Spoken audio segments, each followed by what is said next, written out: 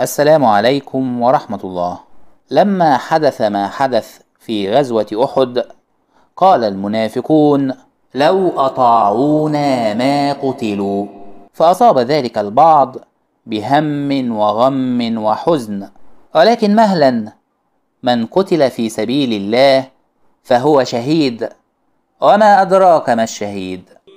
ولا تحسبن الذين قتلوا في سبيل الله أمواتا بل أحياء عند ربهم يرزقون. ولا تظنن ايها النبي ان الذين قتلوا في سبيل الله وفي جهاد اعداء الدين اموات لا يحسون شيئا. وأنه قد ذهبت عنهم لذة الحياة الدنيا والتمتع بزهرتها. وإن كان الخطاب للنبي صلى الله عليه وسلم فهو أيضا خطاب عام لأمته. بل هم أحياء عند ربهم في دار كرامته. نعم صحيح أنهم فارقوا الحياة الدنيا وما فيها لكن إلى أين؟ عند ربهم. وماذا يريد الإنسان أكثر من ذلك؟ ومهما حاولنا أن ندرك ما هم فيه من نعيم وتشريف وتكريم لن نستطيع. تلك واحدة. أما الثانية فإنهم يرزقون ولكن شتان بين رزق الدنيا ورزق النعيم المقيم.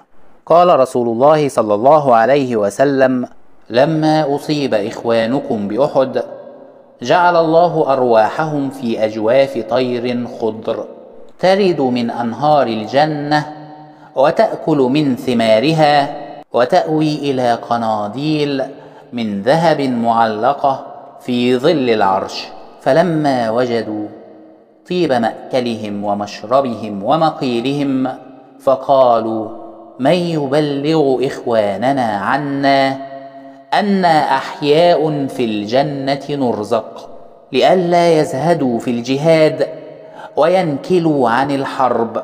فقال الله عز وجل أنا ابلغهم عنكم.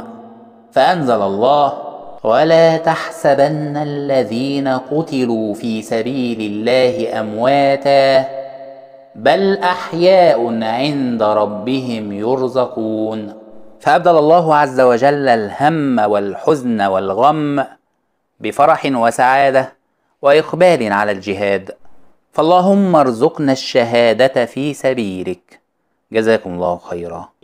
ولا تحسبن الذين قتلوا في سبيل الله أمواتا بل أحياء